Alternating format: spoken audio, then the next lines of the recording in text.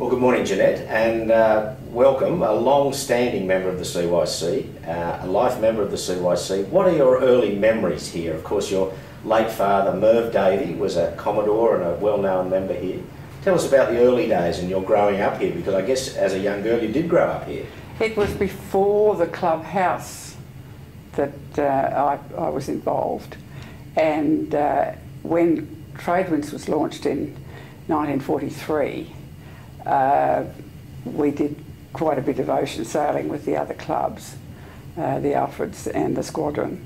And uh, there weren't many yachts that raced because it was the war. So we, uh, uh, it was generally Dad sort of rushing around on the deck and me steering the boat with this huge tiller and with a barn door for a, a rudder. And we'd go racing up to up to Pittwater, and uh, it was Mum and Dad and my sister Morna and the dog, and probably a cat. And uh, the cat didn't get sick, but the dog did. But uh, it was it was it was great, and of course we we uh, came across people like Peter Luke and and Charlie Cooper, uh, who were stalwarts of the early club. Uh, I mean, Peter was the person who said to Dad, we were racing in a Pittwater regatta, and uh, said to Dad, you know, we're starting a cruising yacht club. Uh, the meeting's in my father's studio in, in Castlereagh Street, come along. So he did. And that was, uh, I can remember it well because we, we sort of had a sort of a spinnaker thing up in those days you had whatever you could put on a boat because it was wartime, uh, or just the war had just finished. And uh, yeah, so that was that. And my early recollections were things like the wonderful meetings that we had with very interesting speakers, such as uh, people like Ellingworth, who uh, uh, it was his suggestion that they race to Hobart instead of cruise and uh, there was Cariad, which was a South African, uh, big South African ketch. Ketch? Yes.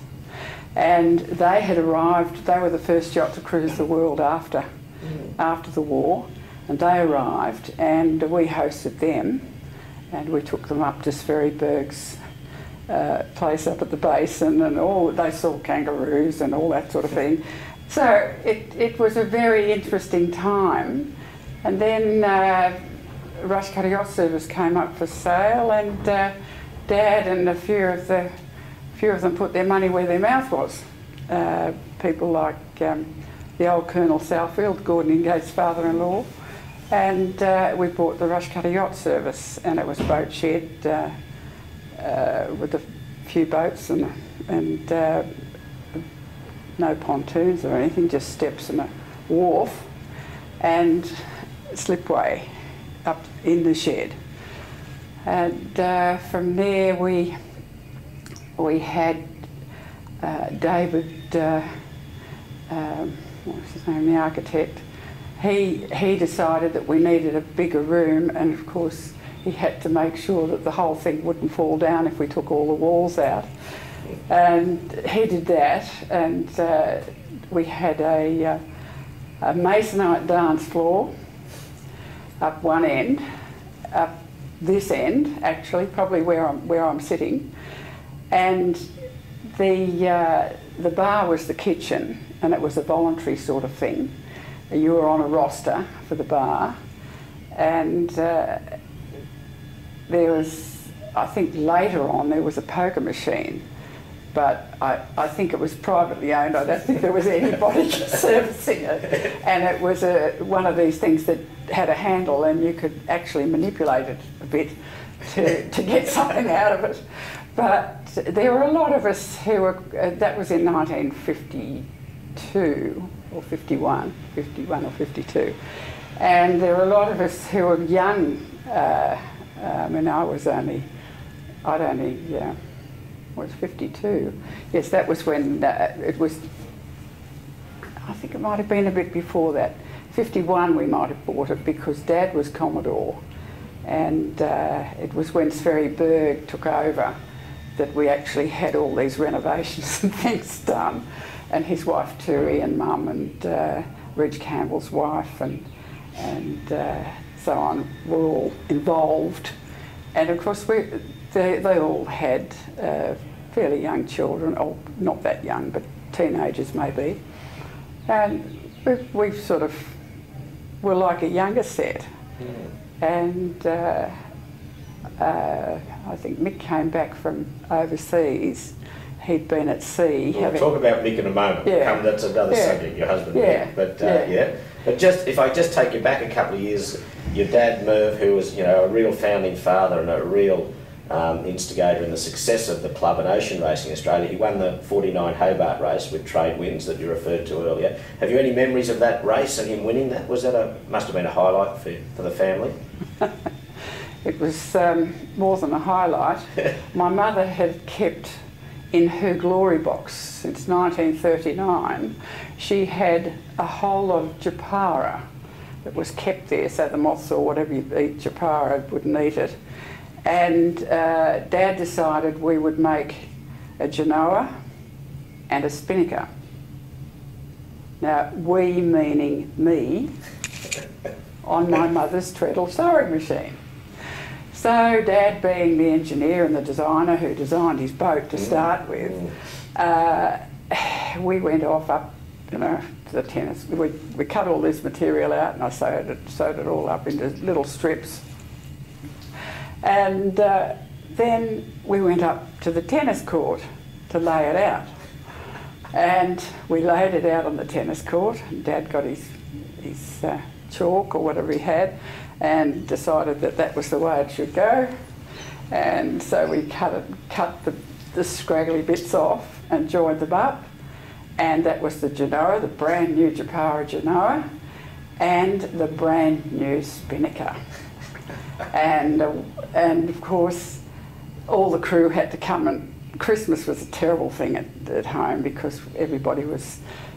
He went to Hobart all the time. We always had the crew, and we always had sails, and we always had bits and pieces all over the place. And the Christmas tree was in a bit of a mess. And we had all the all the crew sitting on the piano stool, which was a great long thing because my mother was a great pianist, and she liked to you know, really slide up and down the piano and bang at it.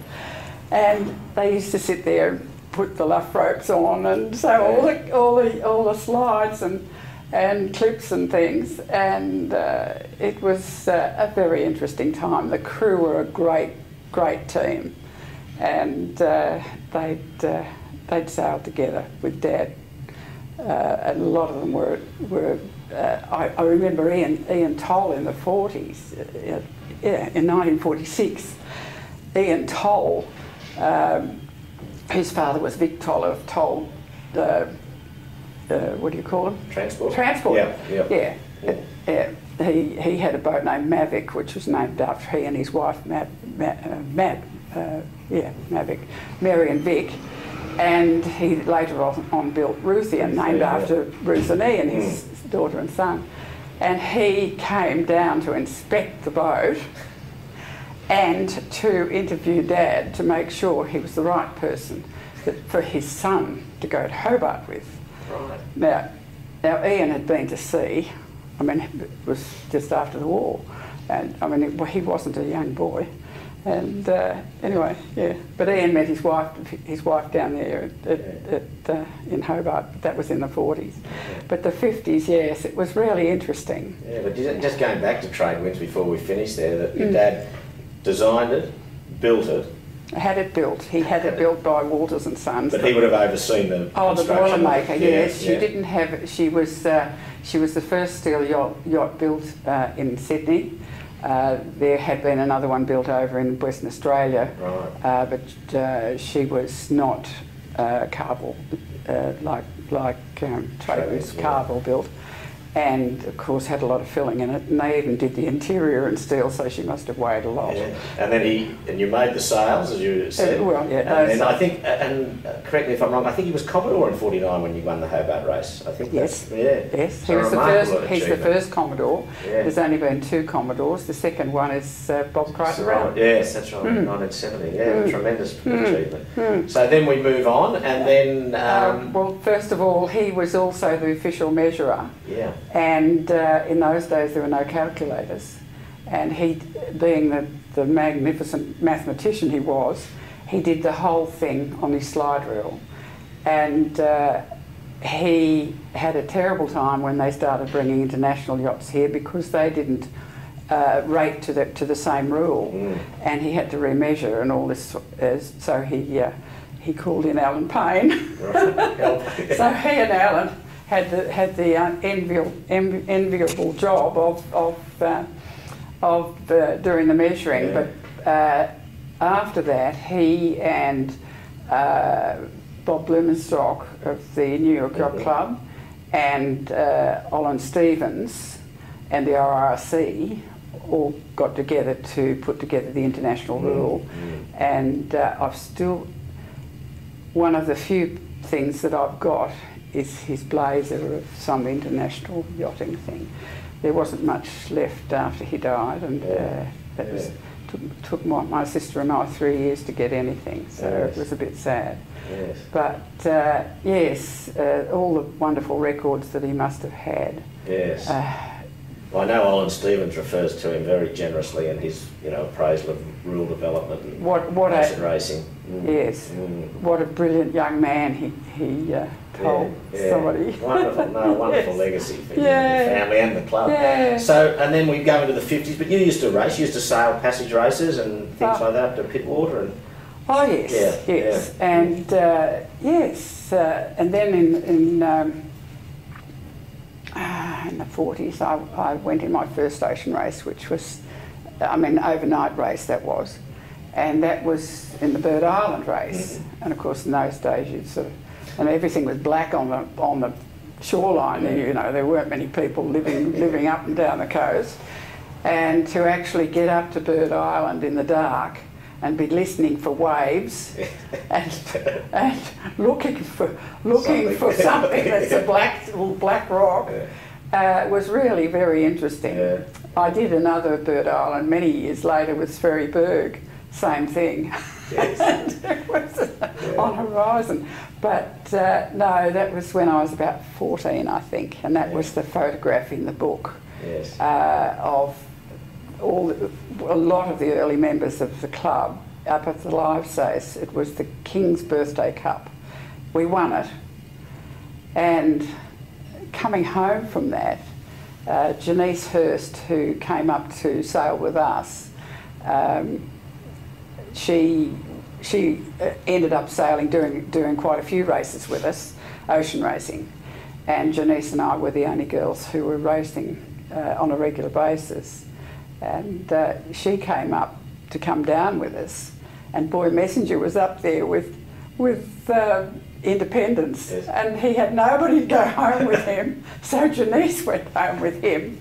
And from Independence, they took a photograph of Tradewinds actually completely out of the water, the whole hull out of the water. The seas were absolutely horrendous. Wow. And for Boy and Jan in Independence, they must have been underwater most of the time. And it was, uh, it was, it was a very interesting weekend. Yeah. Mick will tell you it's the oyster weekend if you ever come across that. I mean, that photograph I showed you yes, yeah. is uh, it was the oyster weekend on Mistral too. He was there on Mistral Yeah. too. Now, the so in the early days, the ladies' committee or the ladies' auxiliary that was Uh, formed. And, no, no, no, no, that, no. when that, did that come along? Or, that was Bill Psaltis. right. Mick was Rear Commodore and um, uh, Bill Psaltis was Commodore and Ron Cotty was uh, the Vice Commodore. And in September 1963, Bill had decided that, it, and the committee had decided that it would be a very good idea to have a, a ladies' auxiliary. And so being the flag officers' wives, who were all members of the associates, they were all, all associate members Mhm. rather, they were called to uh, put a meeting together. So we had Ruth Hill, Molly Kaufman, uh, and uh, Betty Hamer, who was the the secretary here. She was our secretary, and she she later became uh, Betty Finlay. And uh, we held functions on days that the club was not used for other things to, to get the club used. And at that stage, we had already built the new club. The wooden structure had disappeared. Well, part of it had anyway. And the main room was uh, at the uh, north uh, eastern end, and uh, it, it was called the Blue Water Room, and this is where we held our functions. We had um, Lee Dowley organised uh, the Wool Award fashion parades, we had Percy Marks, we had uh, uh, the, um, the furs, Bibers, was it? Biber furs, and uh, we had had the Wool Awards after they they'd been in Melbourne. Uh, we had them every year, or most years, and uh, we presided over these very elegant luncheons. Uh, I had a small child at the foundation of the committee, and he was about six months old. He's now 47. And he was also my third child, and he had to be on any committee that I was on. so he got used to gourmet food and that sort of thing, and became very interested in eating these this different food that other children never touched. Uh, but uh, no, it was a very, very interesting time. We had uh, um, a lot of. Um, we used to have have morning teas with uh, travel, different travel things. Lee Lee had uh, all these uh, um, um people that she could pull in uh, to to give us an interesting an interesting evening or an interesting afternoon or morning, and it just was keeping the keeping the club going whilst uh, you know between the races at the weekends. Yeah, yeah. So it was very good, and I used to race ladies' days, and we had things, you know, all those sort of things. Yes. Yeah. Hmm. Now, um, you referred to Mick, and that's your husband, Mick York, Yeah, who's yeah. one of Australia's most famous yachtsmen. He was the first in our first America's Cup Challenge in 62, first. Admiral's Cup Challenge in 65. Yes. How, you met Mick, obviously, or not obviously, but through sailing, and, Yes. and the, the blossom from there and still blossom. Well, mm, yes. Uh, he, uh, as I said, he was he was, thought it was a, you know, a bit strange for a girl with plaits and so forth to be in an ocean race and, and uh, so forth. But the uh, but the uh, um, I was introduced to him soon after he came back from England after being at sea. He'd been at sea with Shaw Savill for a few years after after the war, because during the war he was on Cockatoo Island, and as as a marine, um, well, fitter and Turnham engineer, he was not allowed to leave the island because it was a war effort and they couldn't leave. He couldn't go to sea, so he joined Shaw Savill, and then uh, after that he came, he came back, and he came to a meeting. And Hal Evans introduced me and said, I'd like you to meet this famous ocean racing yachtsman. And I said, and what sort of yacht do you sail? And he said, uh, a six metre. And I sort of thought, well, no, that doesn't sound like ocean racing to me. But it, it was a while um, before uh, he had other interests, and it was a while before he even noticed, I think. Uh, I think it was a probably a, a Bird Island race I did with Sverre Berg, I think it was, and we still had we still had the rendezvous up at the basin, even though we had the clubhouse. Right. And uh, it was there that I think he noticed me. Uh, I think we were on board Lauriana because she was a mothership. Right. And anywhere we went in those days, we had her as a mothership because uh, there was you know, no clubhouse uh, in the vicinity. Yeah. So, uh, yes, no, that's when it was. Yeah. Mm. Jeannette, tell us about over the years some of the characters that you've, you've met and come across at the at the CYC. I mean, there's there's a, a few that must stand out, I'm sure. Ah, well, it was before it, the first one that stands out and still does uh, is Terry Hammond. Now, Terry Hammond was a New Zealand boy, and he uh, heard that Ilex was coming over for the 1947 Hobart race, and he they wanted a navigator. Now Terry at that stage was a radio ham, has a brilliant mind, and decided that it shouldn't be too hard to read up about it and learn how to do it. And Australia was pretty big to miss. So Ilex arrived over here, and uh, in those days, our boats were all moored at Rose Bay and places like that. Trade Winds was at Rose Bay, Ilex was moored not far from us.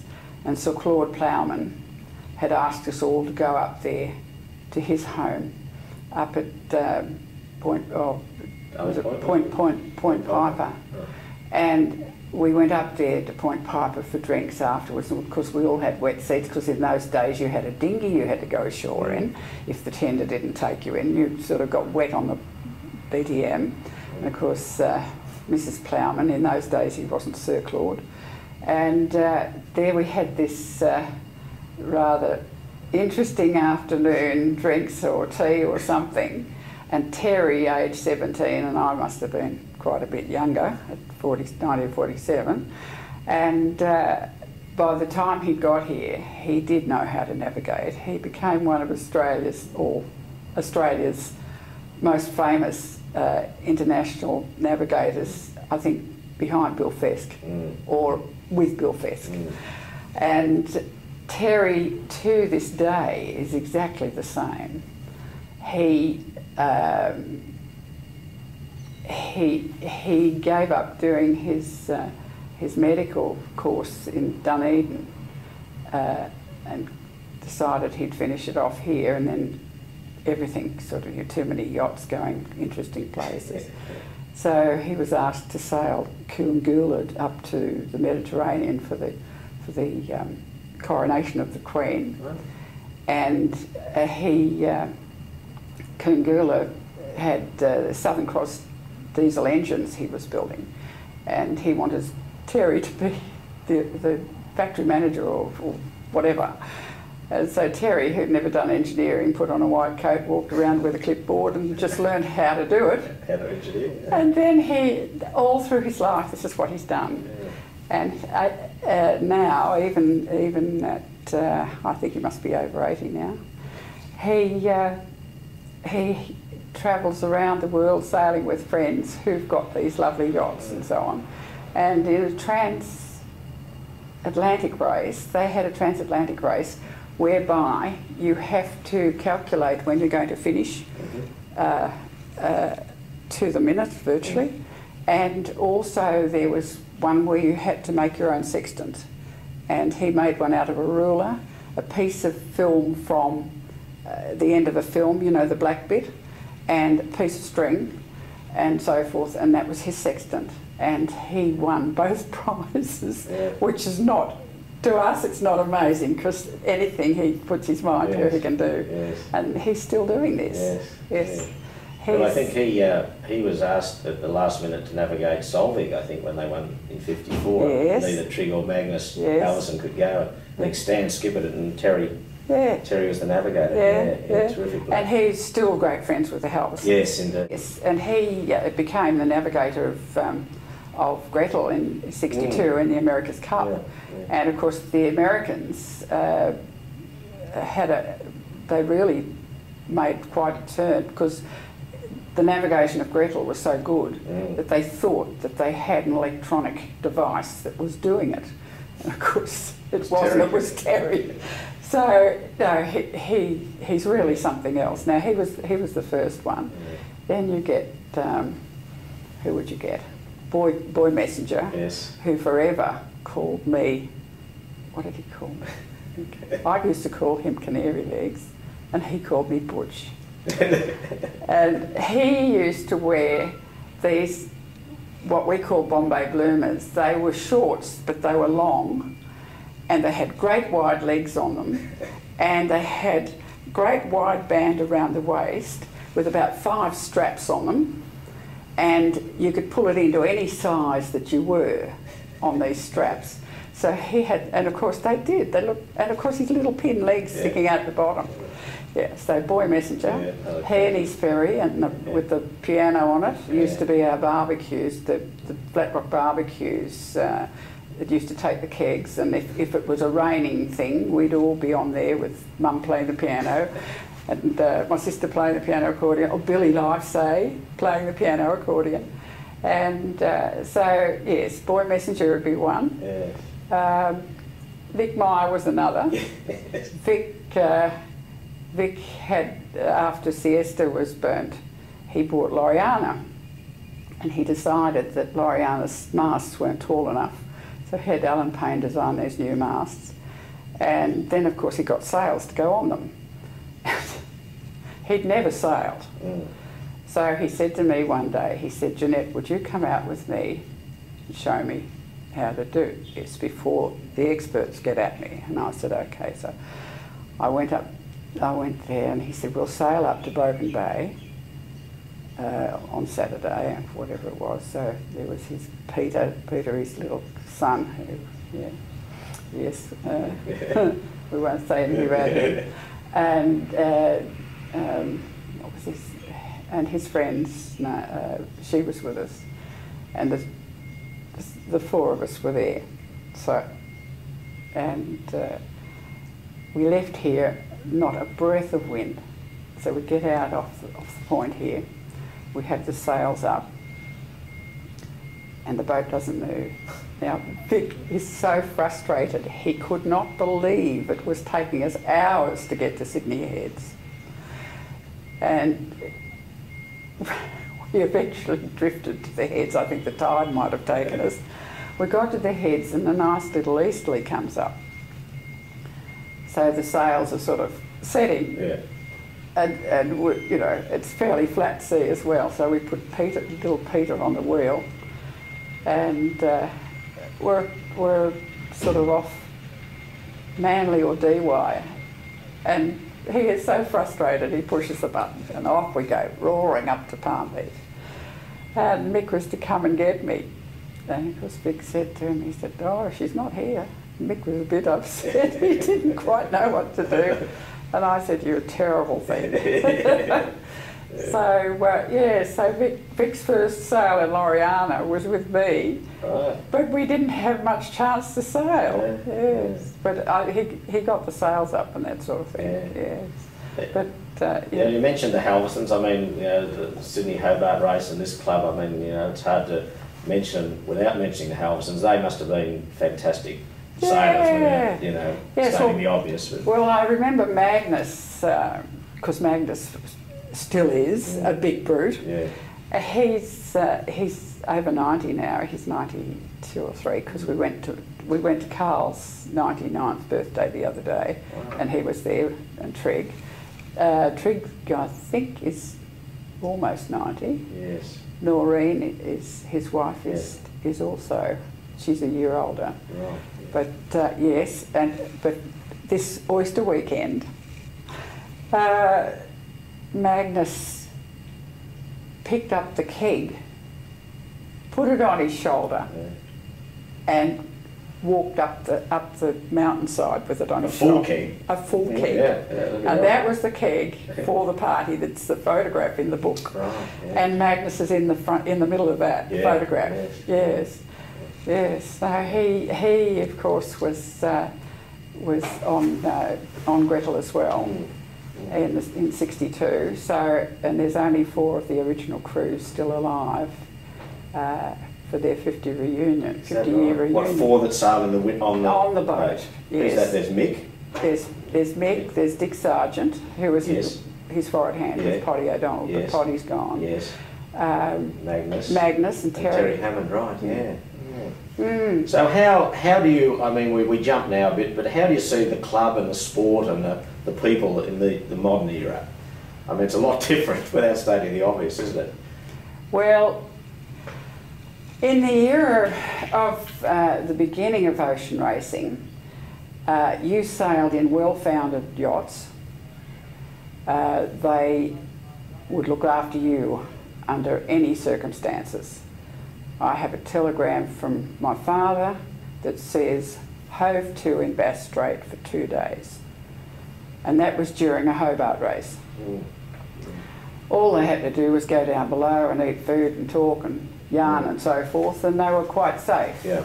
Today, you couldn't do that with these boats. They'd Mm. fall apart. They'd, they'd, they'd turn around and, you know, do all sorts of Yeah. cartwheels and so forth.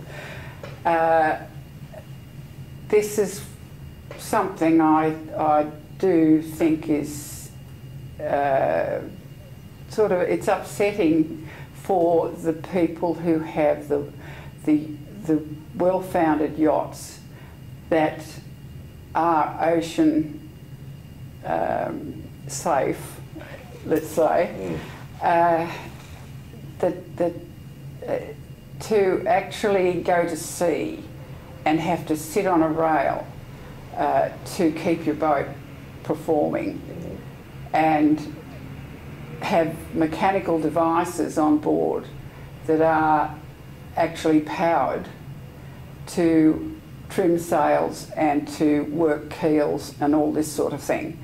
It's taken the sport away from the sportsman. And to my mind, the sportsman is a Corinthian, and uh, a Corinthian is very rare, even in the international classes. I mean, the Dragon Worlds down in Melbourne that Andrew was in, there, I mean, he had a Corinthian crew. Mm. There were not many Corinthian crews, but because of that, uh, the past late Commodore of the Brighton Yacht Club had put a trophy up for the Corinthian, first Corinthian team. Mm. And I think in the days of the America's Cup, prior to all the advertising and everything, this was the more the norm. Mm. Uh, this is why the Cup is losing international interest Mm. and sponsors as well. Mm. Uh, the same with the Hobart race, when Jim Kilroy, he gave up with Kialoa. Mm. I mean, he kept Kialoa Mm. as his cruising yacht, Mm. Mm. and she was at the Betty, she'd be everywhere. But he did build another one, but he, gave, he also gave up the racing bit because of that. And I think in the Medi, you've got some of these big, uh, big yachts over there uh, racing now that, that have those sort of crews, Mm. even though they're, they're owned by multimillionaires, uh, because they want to race with people who are compatible with Yeah. them. Yeah. And to find uh, a, a crew that is paid big money to be on a boat, uh, it, it it's sort of it's really against the sport. I mean, it, to my mind, it's if you can't sail a boat with the, by the seat of your pants, Mm. you're not sailing. Mm. And Mick and I sail an Etchell, and he's 85 and I'm 77 Mm. and we race an Etchell with a young 60 year old for forward hand. And we race at twilights. And still today, we can still lead the fleet. Mm. Not every day, but much to the you know, the amusement of the others. When we first turned up with Janny Northam as forward hand, uh, they thought, you know, what's this old guy and his two girls? Uh, but it's the fun and it's Yeah. camaraderie, and you don't get that with the other lot. Mm. And I think this is it's the camaraderie, and this is why this club prospered because we had so much of that in the early days. We all pulled together. We all had to do things. Uh, we all had to be on rosters. We, we, you know, we we were there. The Mm. volunteers and volunteers are like that. I've Yeah. been a volunteer all my life, Mm, mm. and uh, my local community centre made me a life member as well. Well, I was just going to allude to that, that, that in recognition of your wonderful efforts here, you, uh, a number of years ago, that was made a life member here at the Yes, CYC. yes. Uh, the First Lady life member. Yes. So that must have been a wonderful thrill Yes, for you and, and yes. great recognition for the service. Yeah. Mm. Yes, well, that was the 40, 40 years uh, since the foundation of the Associates Committee, and it was my 40th year on that committee. I was the only person who had been on the committee for the full 40 years. And I had been president three times. Uh, once was with Joe Diamond when his wife would not uh, take it on, and the other twice was when the wheels fell off and we had to get it, get it going. But it's um, uh, it's well in in 2013 it will be the what 30 years 50, 50, 50 uh, 60, 60 years. no no no no be, I'm 62 it's Oh. my it'll be my 60 sec, uh, 60th uh, year membership next year Right. in right, 2000 and, right. uh, 2012 but the associates were were founded in uh, 1963 63, right. So it'll be their 50, 50 years. years, yes. Yes. Yes. So it's uh, it's quite an achievement, and we're one of the very few associate committees still going. And mainly, my argument to the board and to the club has been that the CYC has never um, never uh, differentiated uh, between uh, male and female members. And Sheila Patrick, who I sailed with, Mm. but yes, she's one of those. She's she's one of, she's probably the, the most interesting person. Mm. Uh, she um, uh, she joined in uh, either forty seven or forty eight, and she was the first female member, much to Nina Salfield's uh, horror, Horror. rather, rather, because she thought she would be, and uh, that's Gordon's mother-in-law. Yes. Yeah, and uh, so it was it was very interesting. Then the Jo Martin, who was um, uh, Hal Evans' girlfriend, she she was a full member. She had a yacht as well, and uh, there were a number of other ones. Yeah. And it was uh, it was one of those interesting things as far as the the club is concerned, and the club must remember that uh, they never discriminated. Mm. Uh, yeah. Well, Jeannette, thank you very much. You've been a wonderful contributor to the club Yeah. and, uh, of course, your late father as well. Thank Yeah. you very much. Yeah. Well, my son's still here. Well, He's he's he's he's the, he's the dragon on the hard stand. right, guys. Wizardry. Yes. Yeah.